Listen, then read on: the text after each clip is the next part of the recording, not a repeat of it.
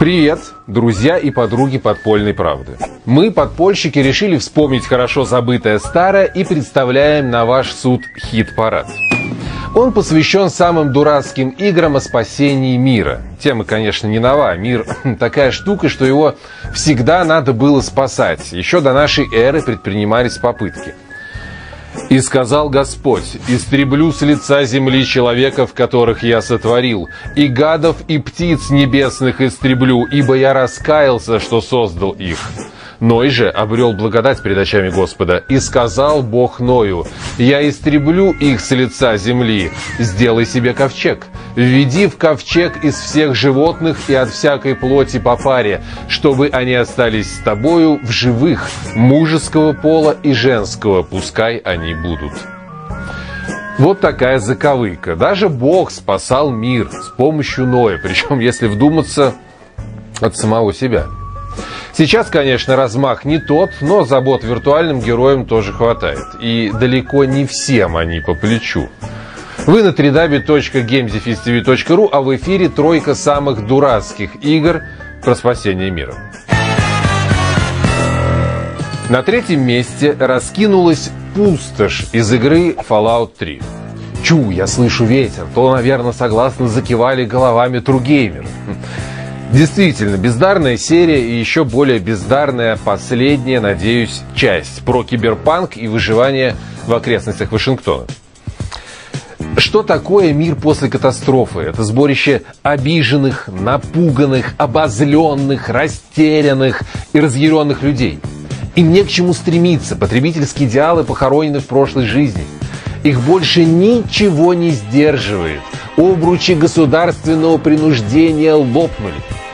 Наружу лезут животные инстинкты – спасти шкуру, потом набить брюхо и как следует потрахаться. Жить в таком мире неуютно.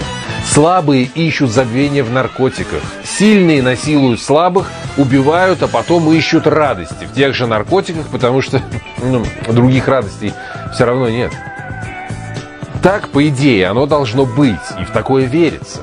На деле же Fallout – как и во всех играх, которые декларируют полную свободу, неистребим душок современной политкорректности. Разработчики понимают, что подошли к черте, за которой у них самих, если что, кишка окажется тонка. И вот, в третьей части нельзя убивать детей. Вот город с ними можно взорвать, а ребенка вот в упор не-не. Э, проститутку трахнуть нельзя, ну точнее, ее можно снять но даже намека на секс не будет, она просто ляжет и уснет. Таких мелочей в игре пруд пруди. Возникает вопрос, нафига спасать фантом? Это же не мир на пороге трагедии, это страшилка для сопливых интеллигентов. Экскурсия по парку ужасов в Диснейленде. Ой, мама. Трудно выдумать игру сопливее, но парочка все-таки нашлась. А Fallout 3 занимает третье место. На втором месте Gears of War под любым порядковым номером. Лучше всего место и суть этой игры характеризует анекдот. Этот мудак даже на конкурсе мудаков занял бы второе место, потому что мудак. Перед нами во всей красе, как писал один из моих любимых писателей, борьба борьбы с борьбой – Земляне что-то там колонизировали и вдрызг передрались за обладание подземным ресурсом. Нет, не спайсом, дорогие поклонники Дюны, а эмульсией. Но это не важно. Когда колонисты помирились, оказалось, что на планете есть местное население. Кто мог подумать? Вот тут-то и началась война. В компании солдат, тела которых, судя по всему, на три четверти состоят из анаболиков, игрок движется по музеям, промзонам, деловым кварталам и жмет на гашетку.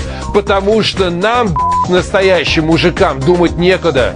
Гибнут люди, сынок, и я буду стрелять до последнего патрона. А думает, пускай лошадь, у ней голова большая. И наплевать, что людей никаких нигде нет и в помине. Зато есть стайки страшноватых аборигенов, которые выглядят так, что их не жалко, и всеми силами пытаются защищаться. Вот и звери какие, а! Gears of War – это типичное представление типичного цивилизованного белого человека обо всех, кто на него не похож. По этой причине любой араб в Америке становится террористом, Любой армянин в Москве жуликом, любой русский в Латвии оккупантом. Но туземцы в Gears of War становятся врагами номер один. Хотя мир в данном случае нужно спасать от твердолобых, мудаковатых спасителей, которые за своей дремучей непроходимости даже до первого места не дотянули.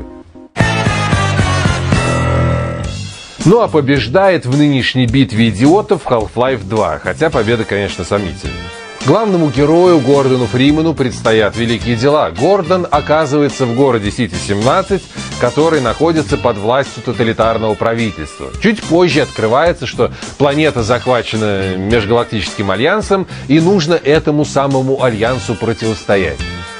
История продуманная, по швам не трещит. Каждый герой появляется в четко отведенном ему месте, совершает сюжетные манипуляции и растворяется в двоичном коде до следующего выхода.